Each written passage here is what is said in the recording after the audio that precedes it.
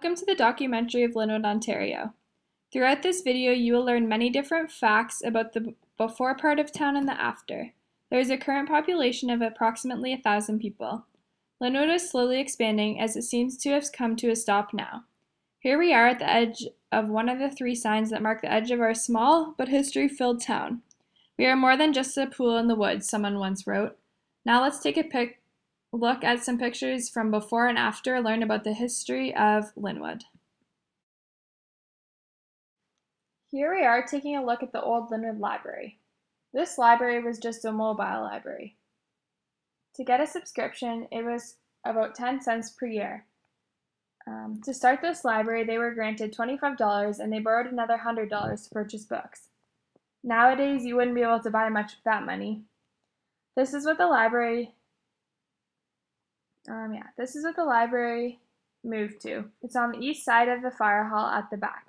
It's just a very small library. Um, they're currently moving it to the new Linwood Recreation Center to provide them with more space. Um, they finally had enough funds to move the library. Um, the cost of it was $27,000 to open this one in January of 1971.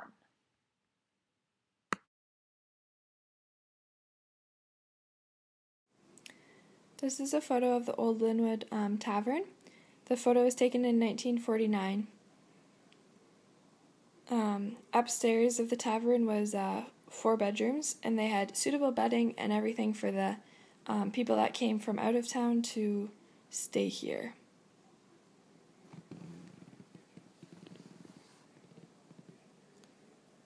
This photo was taken in 2000. It is the a current photo of the Linwood Inn and Tavern. Um, it sold lots of different um, meals, and the Linwood Tavern is now a veterinarian clinic um, made for medicine, so we actually don't have a Linwood Tavern anymore.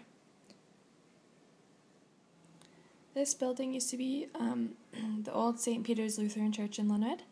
So it was a Lutheran church, um, and it was there for many years um, until they had enough funds to built a new building. It then moved to a bakery um, for approximately 40 years. Um, a family moved into there, and the woman and the husband um, provided for the bakery. Um, this bakery is now just someone's home on the main street of Linwood. This is the old Linwood Public School. It was a two room brick building. It was in the same location that all of the other former Linwood schools were in. It's now just someone's farm. It has a metal shop and a barn that's on it. The new Linwood Public School is inside the town, whereas this one and all the former ones were located just outside of it. The current one is approximately 850 students attending, whereas before it was just a two-room school. The oldest um, standing buildings that's in Linwood still that um, existed here before. This photo was taken in 1912. um, as someone quotes, When I was four years old, my parents bought a house in Linwood, complete with a smokehouse for curing meat, and also a small barn that sheltered a horse, a cow, and a few chickens. Also, two pigs each year that would be butchered in the fall for our winter meat supply. So that just shows that this house was very old, even though it, um, it's been fixed up a few times, but it still holds a lot of history for a lot of people and a lot of different families. This photo was taken in from 1910 to 1915. This is a Presbyterian church in Linwood. Um, research shows that during the first 20 years of um, gathering in this church, um, the little church group had 14 different ministers. Um, so they could get no one to stay with them for a really long time, I guess. This is what the church looks like now. It's the original building, and it looks pretty much the same as it did before. This is a photo of the Linwood garage taken in the um, the late 1950s. So this garage was used. Um, it was open six days a week. That you, could pump gas there. You could get your cars fixed. Um, and in around the 1980s, um, they had to expand the bay door to get um, trucks in because they wanted to supply services for the Linwood Public School and the um, Jones Feed the Mills that's in Linwood. They needed to get the trucks in to be able to um, get fixed, and their doors just weren't large enough. This is what the garage looks like now. Um, you can no longer pump gas there. They took the stands out because it was too costly. But you can fix your cars there and get everything repaired that you need. You can get snow tires for the winter and everything else. This photo was taken in 1943.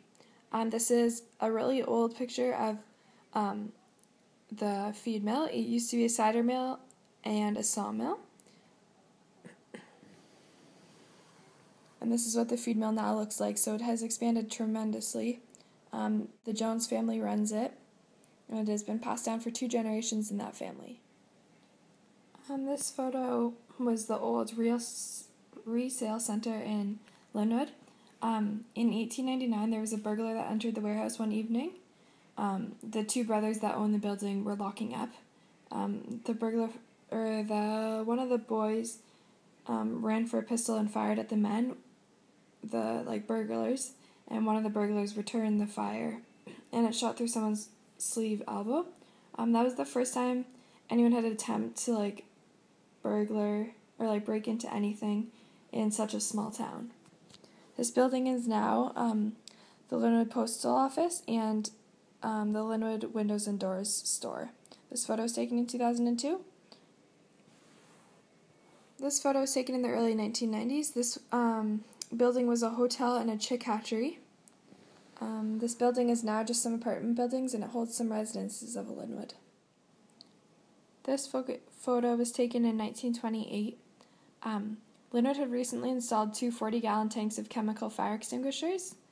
Um, and kind of ironically, two months later, the building that like held all of these chemicals caught on fire and it was burnt down, which then the townspeople couldn't put out the fire, so they had to rely on neighboring um, towns and they had to carry buckets.